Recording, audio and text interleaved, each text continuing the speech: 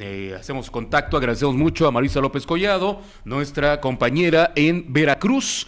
Andrés Manuel López Obrador y Miguel Ángel Yunes enfrascan, se enfrascan de nueva cuenta en acusaciones de corrupción y nepotismo. Todos los días se genera mucha información allá en el estado de Veracruz. Marisa, ¿cómo estás? Qué gusto saludarte una vez más aquí en el Punto Crítico. Muy buenas tardes, el gusto es mío nuevamente terminando la semana con el reporte de mi estado. Así es, otra vez se enfrentaron en acusaciones Miguel Ángel Yunes con Andrés Manuel López Obrador. López Obrador volvió a visitar el Estado en esta gira que está haciendo como presidente de su partido previo al 2018, en donde en esta ocasión no fue él el que inició la batalla.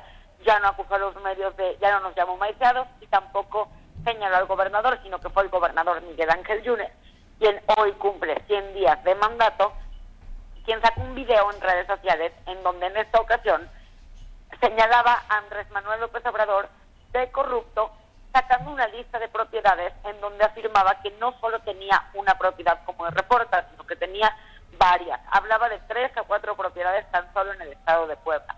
Posteriormente también sacó en su un video en sus redes sociales en donde demuestra con algunas cantidades que López Obrador no paga impuestos, que reporta sus impuestos en ceros.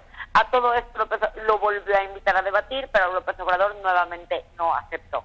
Así están las cosas hasta ahorita en el Estado, hoy en los 100 días del mandato de Miguel Ángel Yunes Linares.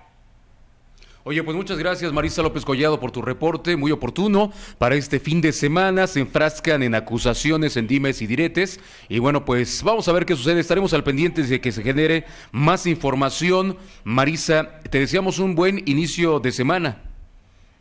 Claro que sí, el lunes estaremos ya con información de ver cómo amanece el estado la próxima semana. Excelente fin de semana para toda la audiencia. Buen inicio de fin de semana. Hasta luego. Hasta luego. Bueno, pues ahí están los eh, reportes este fin de semana.